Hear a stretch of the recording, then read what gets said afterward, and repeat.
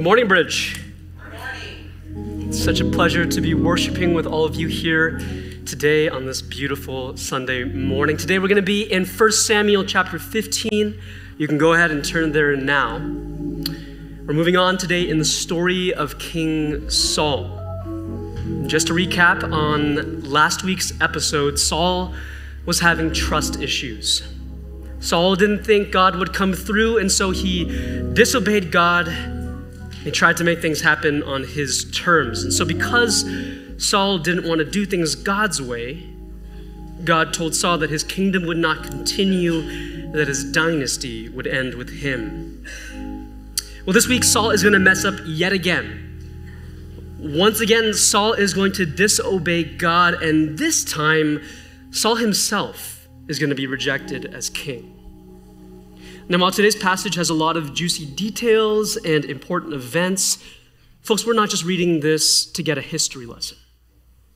Now, today's passage is extremely relevant to us today because at the root of this chapter, we find two related questions.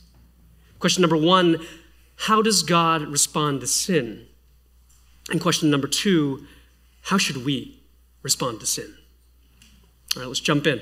Reading from 1 Samuel chapter 15, starting with just the first three verses, would you please stand for the reading of God's word? Chapter 15, verse 1.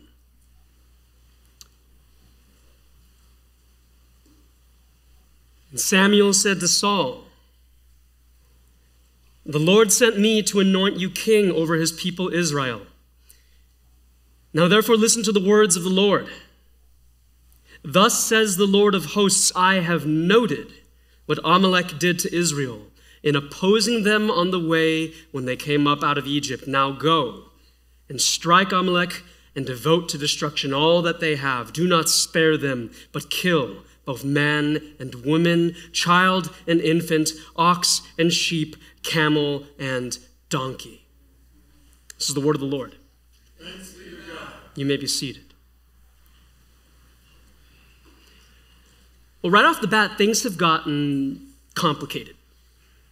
I intentionally stopped us here at verse 3 because my guess is many of us just felt a moment of tension. I mean, we just said, This is the word of the Lord, thanks be to God. But if you look at this passage, brothers and sisters, this is a hard word. Am I right?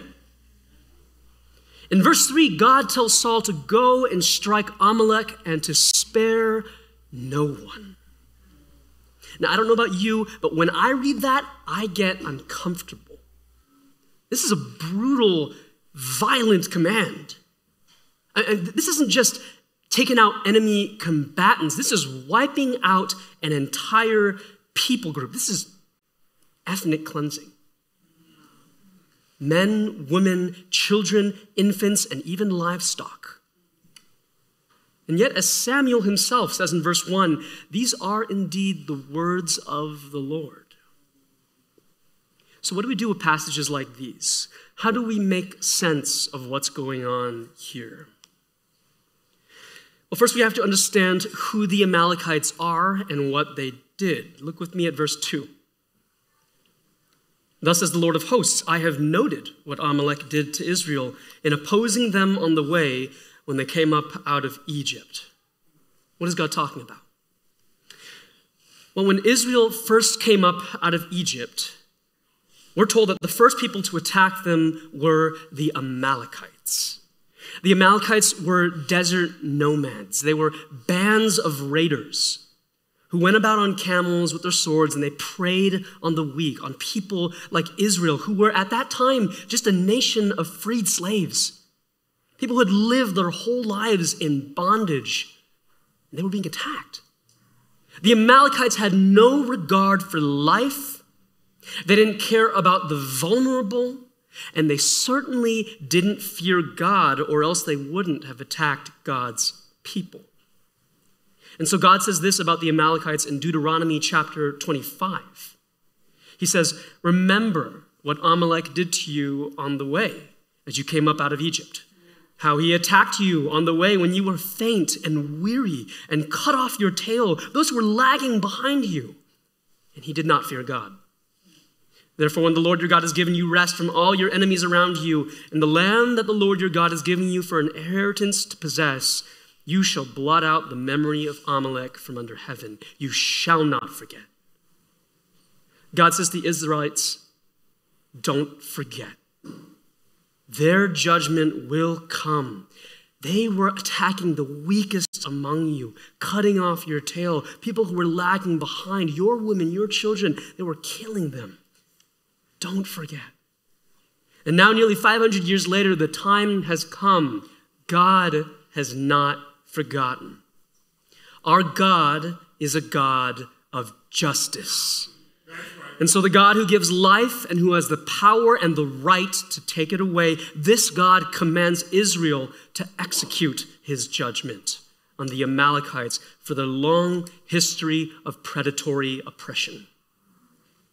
In other words, if we're asking the question, how does God respond to sin? Our first answer is that God judges sin. God judges sin. Now, this may not be on our timeline. It may take 500 years. In fact, it, we might be waiting until the final judgment day, but God will judge sin. Our God is a God of justice. And if I can throw another point in for free, if I can rock the boat a little bit, our God is a God of social justice. That's right. God does not only judge between individuals, but between groups of people and across generations. Now, that word social justice has a lot of baggage these days, but just look at the text. God judges the whole nation of Amalek men, women, and children for what their ancestors did 500 years earlier. That might be immediately offensive to our modern Western individualistic ears. Why should I pay for what my ancestors did 500 years ago? But the Bible tells us that we sin both individually and corporately. And so God judges us both individually and corporately. Remember that according to Scripture, we all come into this world under the weight of Adam and Eve's disobedience. All of us were born under Adam. All of us have been under judgment for the original corporate sin of our first parents. In fact, this very day, we find ourselves living between two great judgments. In the first judgment, God destroyed all mankind in a great flood. All men, women, and children, except for one family, Noah's family. And in the final judgment, Jesus tells us that he himself will return to judge both the living and the dead, all men, women, and children, and make no mistake. This final judgment will be a corporate judgment. All who are found in Adam will face eternal consequences, but just as in the flood, one family will not. The family of those who have been born again, born under the second Adam, Jesus Christ. In today's passage, what we're seeing is just a small preview of that final judgment. God has chosen to show his people what is going to happen on the final day, and he's chosen to accomplish this judgment through his people, through Saul, his chosen king. So let's see what Saul does. Verse 4. So Saul summoned the people and numbered them in Telaim 200,000 men on foot and 10,000 men of Judah. And Saul came to the city of Amalek and lay in wait in the valley. And then Saul said to the Kenites, Go, depart, go down from among the Amalekites, lest I destroy you with them. For you showed kindness to all the people of Israel when they came up out of Egypt. So the Kenites departed from among the Amalekites, and Saul defeated the Amalekites from Havilah as far as Shur, which is east of Egypt. And he took Agag, the king of the Amalekites, alive and devoted to destruction all the people with the edge of the sword. But Saul and the people spared Agag. And the best of the sheep and of the oxen, and of the fattened calves and the lambs, and all that was good, and would not utterly destroy them. All that was despised and worthless they devoted to destruction. Well, last week Saul was outnumbered, remember? He had 600 guys. And he was constantly worrying about how the battle would go. But in today's chapter, Saul has over 200,000 men, and King Saul is feeling confident. So he goes and he gets ready to do what God commanded to execute complete judgment on the Amalekites. But then Saul gets to thinking. And he thinks, you know what? This, this seems like an awful waste. I mean, look at all this perfectly good stuff. This is valuable livestock. This is property. And why should I kill this king? Who knows? Maybe he'll be useful to me. Saul sees a strategic opportunity. He runs the numbers and he thinks maybe God's not seeing the bigger picture. Maybe there's an opportunity here. So Saul disobeys God. Yes, he destroys all the stuff that he doesn't want, but he takes the stuff that he does. Saul sins against God. So what does God do? Look at verse 10. The word of the Lord came to Samuel. I regret that I have made Saul king, for he has turned back from following me and has not performed my commandments. And Samuel was angry and he cried to the Lord all night. Saul sinned against God. He deliberately disobeyed him. And so God says that he regrets that he made Saul king. Now, that word regret shows up four times in today's passage. And this is a very tricky word to understand. Because think about it. What does it mean for God to regret? Is God sitting at home thinking, man, you know, it really seemed like a good idea at the time, but I really shouldn't have made God Saul king. I've made a huge mistake. Should have seen that one coming. Oh, well. Maybe next time. No, God isn't like that. God isn't caught off guard. He isn't surprised by Saul's disobedience. And God doesn't change his mind. He isn't one thing one day and the other thing the next day. He's not fickle or trifling. God isn't constantly reacting to events that are out of his control. After all, God knows what's going to happen before it even happens. God doesn't change. And yet, God regrets. God regrets. It looks like God's changing his mind here. At one point, God made Saul king, and now God's unmaking his king. So, does God change his mind? What does it mean for God to have regret? To understand what's going on here, it helps to recognize that this isn't the first time we've seen this word. The word regret shows up for the first time in the book of Genesis, in the story of the first great judgment, the flood. Genesis 6 says this The Lord saw that the wickedness of man was great in the earth, and that every intention of the thoughts of his heart was only evil continually, and the Lord regretted that he had made man on the earth, and it grieved him to his heart. Do you see the parallels between this situation and Saul's? Just like humanity before the flood, Saul turned from following God. And so, just as God regretted making mankind, God regrets making Saul king. In other words, What's going on here with Saul is a little mini version of what went down at the flood.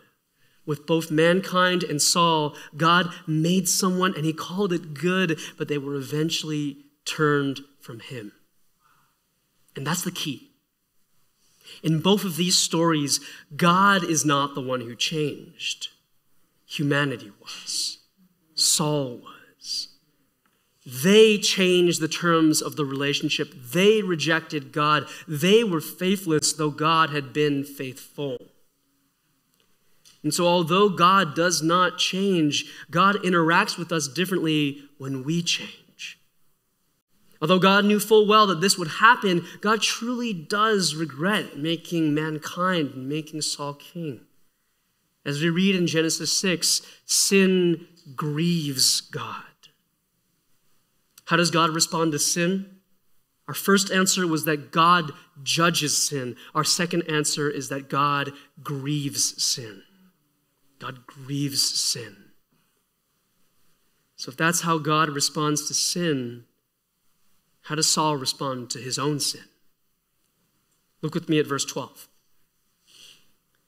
And Samuel rose early to meet Saul in the morning, and it was told Samuel, Saul came to Carmel, and behold, he set up a monument for himself, and turned and passed on and went down to Gilgal.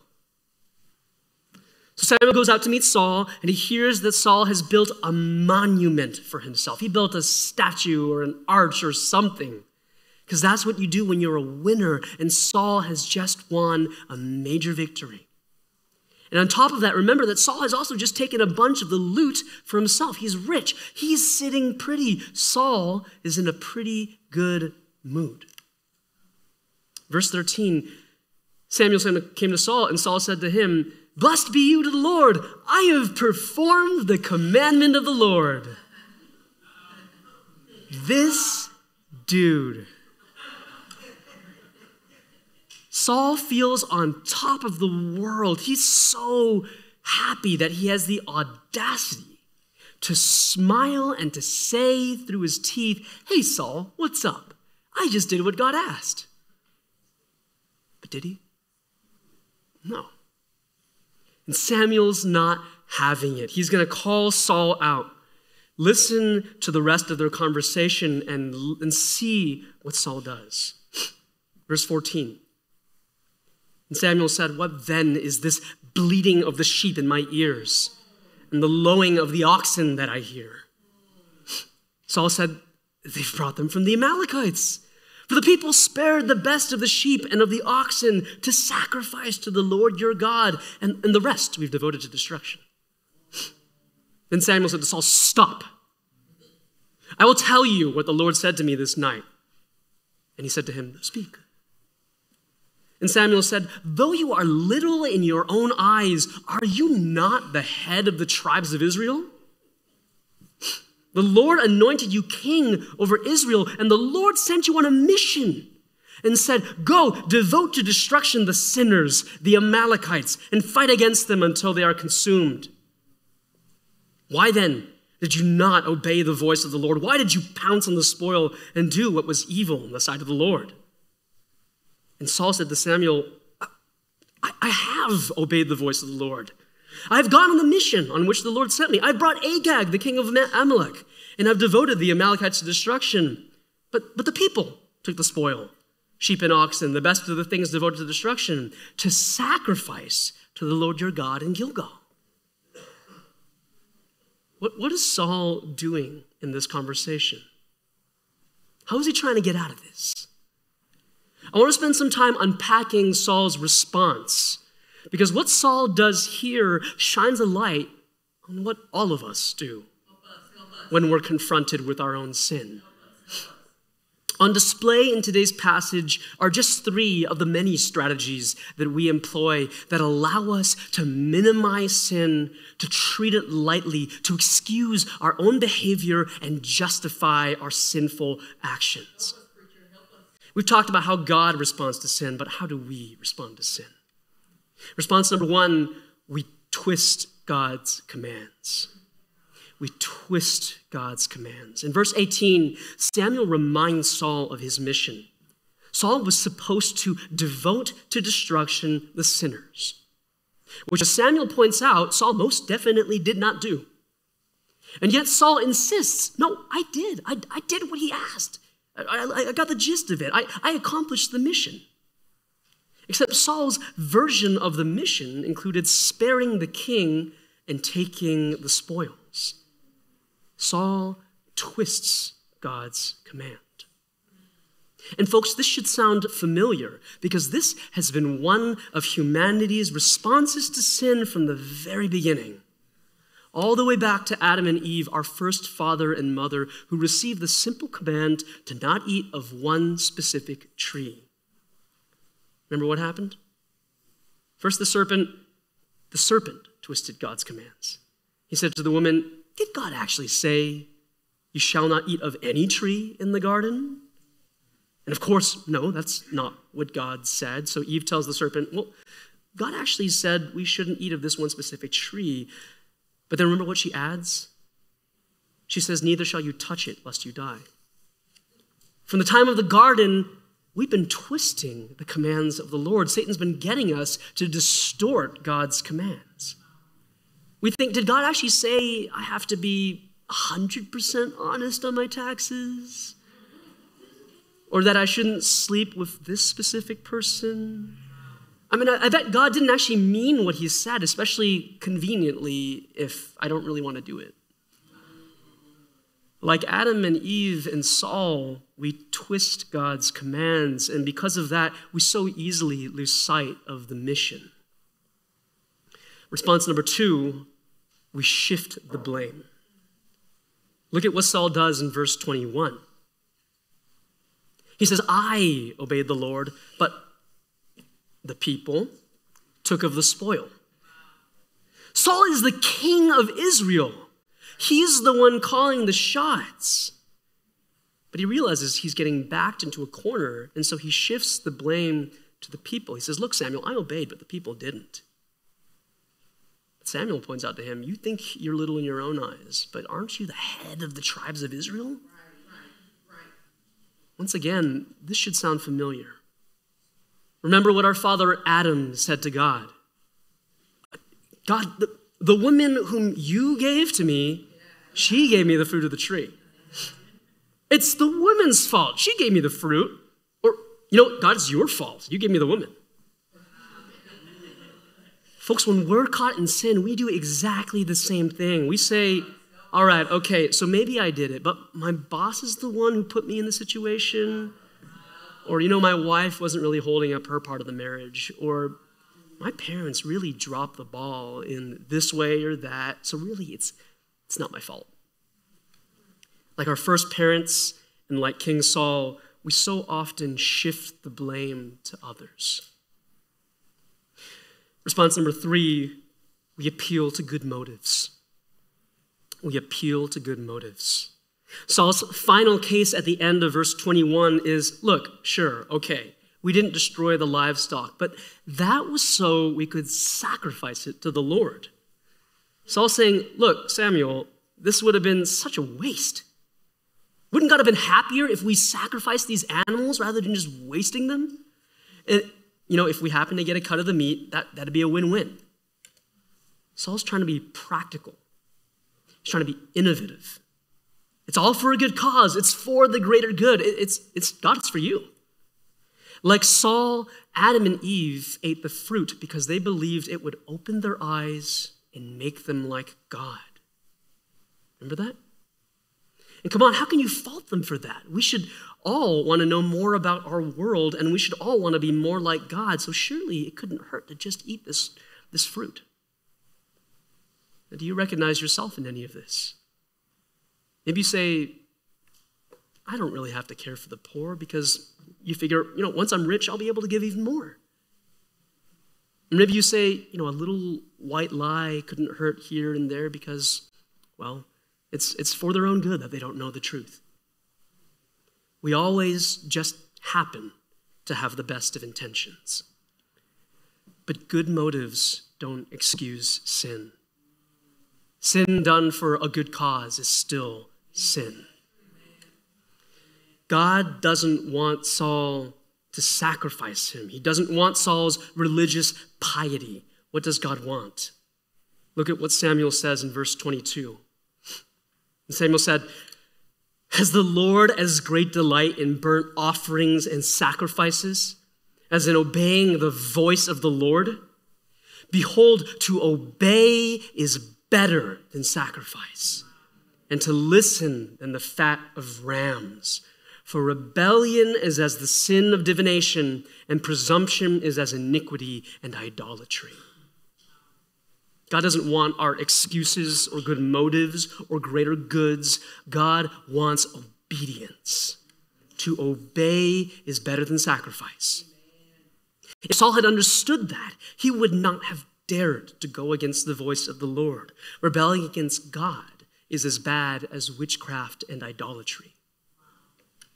Brothers and sisters, the call for us today is to turn from sin and instead to know God's heart, to see that He desires our obedience more than our sacrifices. To understand that saying you're a Christian, coming to church, giving your tithes, none of that means anything if you aren't really doing what God says. If throughout the week you're just living life how you want to live it. God doesn't want lip service. God wants us to present our bodies, our whole lives to Him as living sacrifices, holy and acceptable to God in our obedience. This is what God wants. But Saul doesn't get it. Saul has proven over and over again that he does not trust God and that he doesn't want to do things God's way. And so finally, Samuel lays down the judgment at the end of verse 23 because you have rejected the word of the Lord he has also rejected you from being king. Because you changed, God regrets. Because you sinned, God judges. Because you have rejected the Lord, He has rejected you. In last week's passage, Saul's dynasty ended. His son Jonathan lost any shot at the throne. To put it another way, if King Saul were an American president, then last week his party lost re-election. But in today's passage, in this verse, Saul himself is removed. In today's passage, Saul is impeached. Saul rejects the Lord. He thinks his way is better than the Lord's way. And so, because Saul rejects God, God rejects Saul. From this point on, Saul will be a rebel king, and his throne will belong to another. It's at this point that Saul begins to understand the consequences of his disobedience. And so in verse 24, Saul said to Samuel, I've sinned, for I've transgressed the commandment of the Lord in your words, because I feared the people and obeyed their voice. Now, therefore, please pardon my sin and return with me that I may bow before the Lord. And Samuel said to Saul, I will not return with you. For you have rejected the word of the Lord, and the Lord has rejected you from being king over Israel. As Samuel turned to go away, Saul seized the skirt of his robe and it tore. And Samuel said to him, The Lord has torn the kingdom of Israel from you this day and has given it to a neighbor of yours who is better than you. And also, the glory of Israel will not lie or have regret, for he is not a man that he should have regret. Okay, pause. Here's the second and third time that we see that word regret. But while in verse 11 we read that God regretted making Saul king, here, confusingly, Samuel makes the statement that God does not have regret, for he's not a man that he should have regret. What's going on here? How can God both regret and not have regret? Is, is, is this an inconsistency? Is, is, is the text messed up or is Samuel wrong about God? None of the above. Samuel is God's prophet and is clearly speaking truly of God in this passage. And the human author of this passage wasn't stupid. They saw the tension here, but they purposefully included both statements both that God regretted and that he does not regret. Once again, the key to understanding this is to recognize that the writer of 1 Samuel wants us to think back to an earlier episode. In verse 11, we were supposed to think about the flood, about how while God didn't change, humanity fell into sin, and so God regretted making man and brought down his righteous judgment. Well, here in verse 29, we're supposed to see a parallel to a different passage from chapter 23 of the book of Numbers. In that story, the enemies of Israel hire a pagan prophet named Balaam to put a curse on Israel. But, it, but every time that Balaam tries to curse God's people, God lets him know that no such thing will happen. In verse 19, Balaam says to the enemies of Israel, Look, God is not a man that he should lie, or a son of man that he should change his mind or literally regret. Has he said, and will he not do it? Or has he spoken, and will he not fulfill it? In other words, Balaam says that God cannot be manipulated. You can't turn aside his judgment. If God wants to bless, he will bless. And if God wants to curse, he will curse. In fact, at the end of Balaam's speech in chapter 24, God has Balaam pronounce a curse on the Amalekites, who we met in today's chapter. Balaam says, Amalek was the first among the nation, but its end is utter destruction.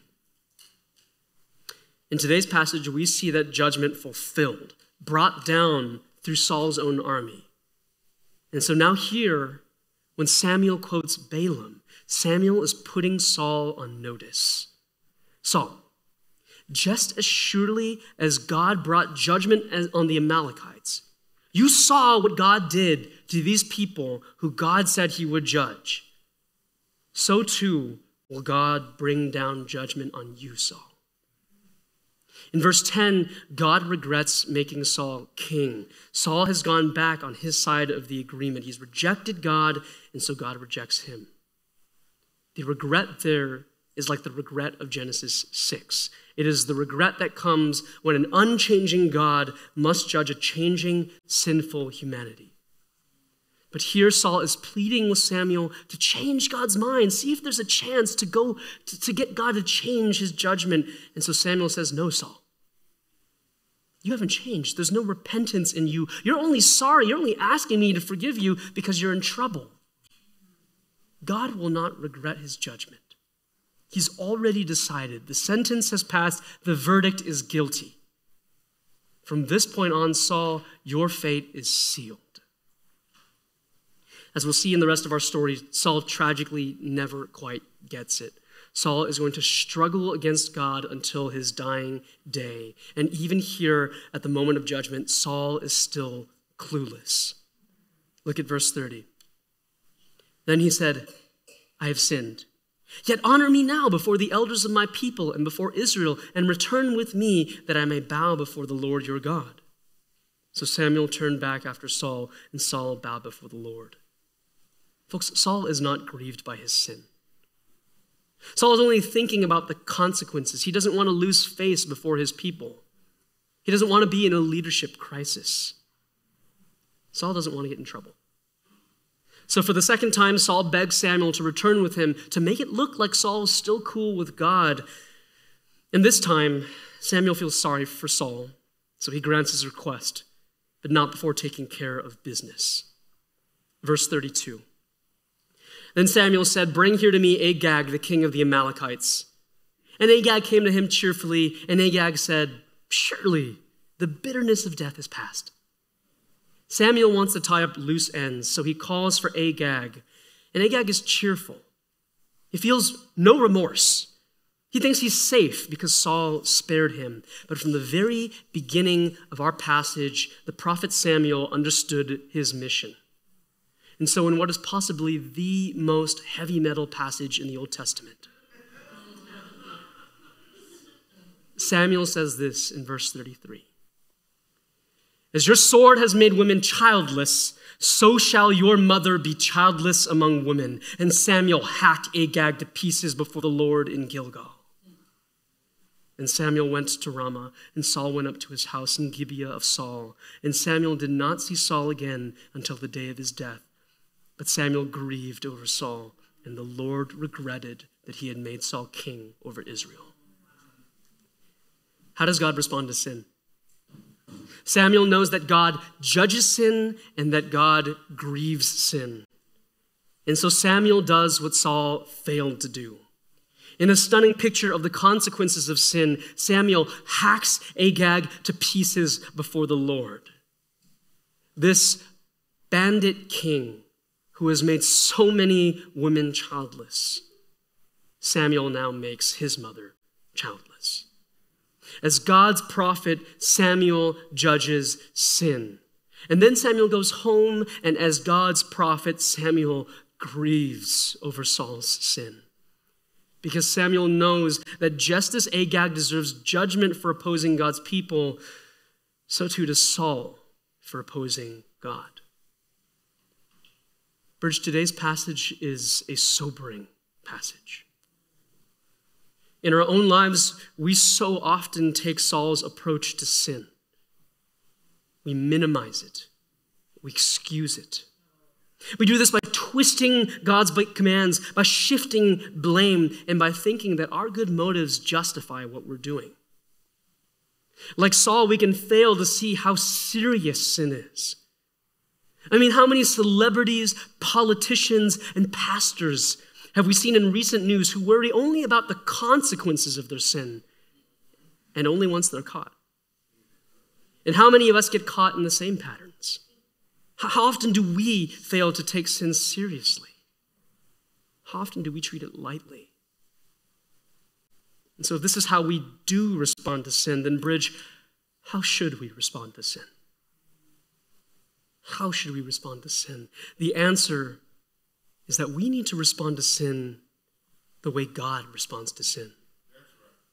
We need to see sin the way that God sees it as something that deserves both God's unregretting judgment and his regretful grief.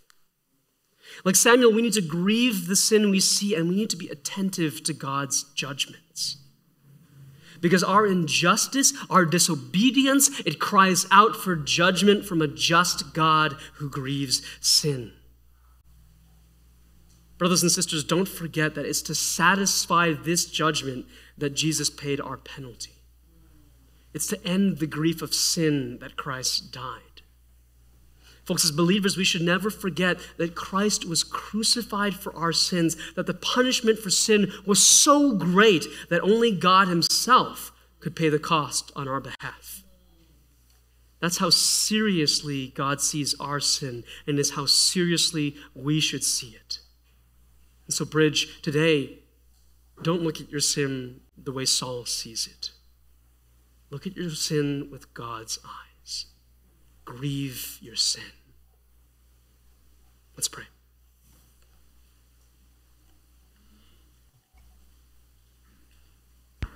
Lord, you are a righteous and just God.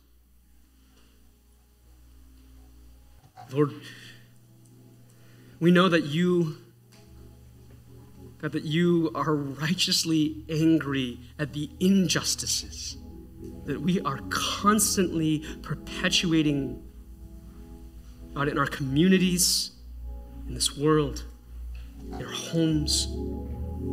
God, that you see our disobedience. You see the ways that we twist your word, that we don't hear what you say to us.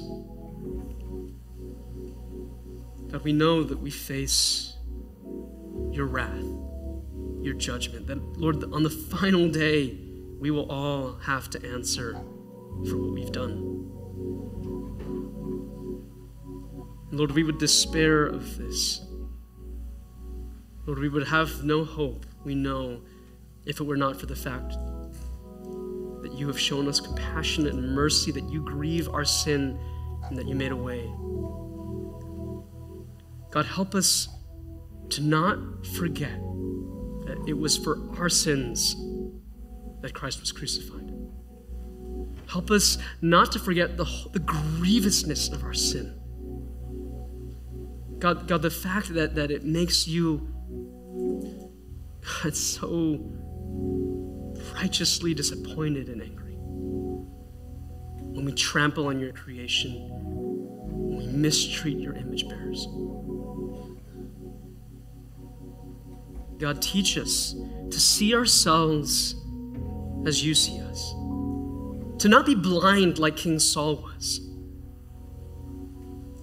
God, to not try to scramble out of a corner if we think we're caught in it. But God, to own up to our sin, to confess our sin, to repent of our sin, to own up to it. And God, to turn to you, to turn to your loving arms. Help us to put sin to death. Lord, we stand here in fear and trembling, praying to you knowing that we deserve death, and yet aware, God, that in you we have life, which is a miracle that we will be singing praises of till eternity. But now, Lord, this week I ask that you would convict our hearts of sin, that your Holy Spirit would do a work in us, there would be no corner left unturned, that every spot of darkness in our lives would have your light shine on it. Awaken us to our sin, Lord. We pray this in the name of your sinless Son, Jesus Christ.